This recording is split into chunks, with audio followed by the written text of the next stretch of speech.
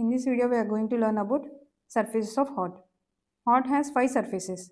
Anterior surface or sternocostal surface, inferior surface or diaphragmatic surface, right pulmonary surface, left pulmonary surface, posterior surface or base.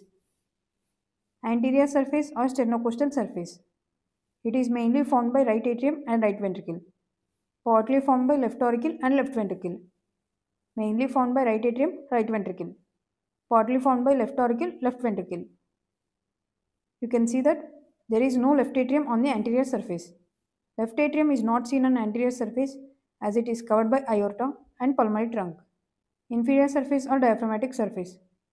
Diaphragmatic surface. It rests on central tendon of diaphragm. 2 by 3rd of it is formed by left ventricle. 1 by 3rd of it is formed by right ventricle. 2 by 3rd of it is formed by left ventricle. 1 by 3rd of it is formed by right ventricle.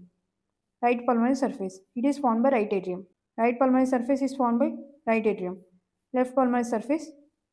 It is formed mainly by left ventricle, partly by left auricle, left atrium. Left pulmonary surface.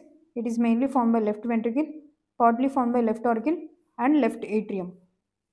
Posterior surface or base. It is formed by two atria, mainly left atrium. Base is formed by two atria, mainly left atrium. You can see there is major portion of left atrium. So mainly formed by left atrium. Sternocostal surface mainly right atrium, right ventricle. Partly left auricle, left ventricle.